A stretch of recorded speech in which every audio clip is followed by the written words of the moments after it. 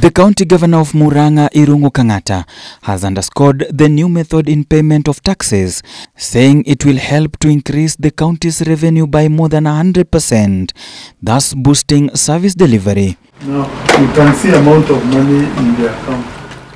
Through the new technology, the digital mode of payment of levies will help to seal all loopholes and help the administration raise funds to provide better services. This is intended to boost revenue and counter pilferage of public resources.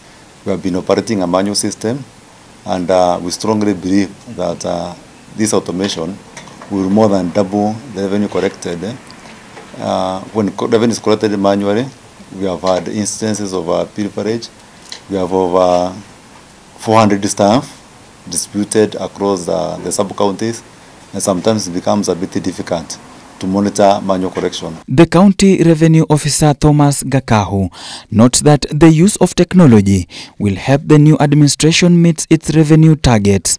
With automation, it will be very easy because there is no contact of cash, and uh, as it will be displayed here, uh, every, everyone, eh, every supervisor seated at the comfort of the office will be able to uh, to see the revenue collected on on real-time basis.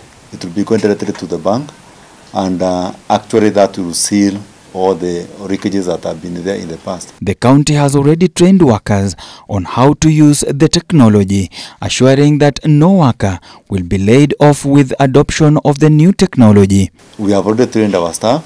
They have, have embraced uh, this system and uh, they are cooperating and they are much more willing and support the system. On average, we be collecting around uh, 50 million per month and uh, we are expecting uh, to double that once we go to the automation. We do not expect any loss of employment. We have uh, retrained our county staff and, and therefore they are happy with this system.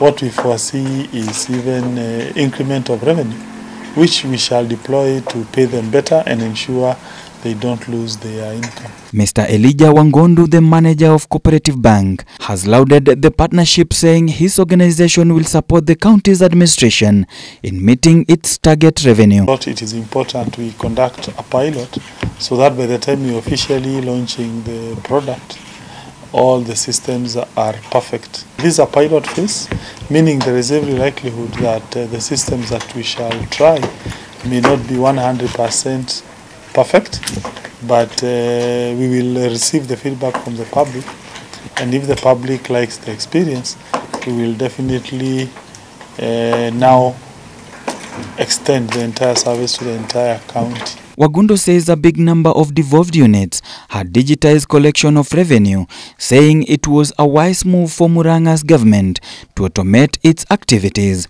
For Ebro TV, Amode Francis. So it's going to prompt 200 hash.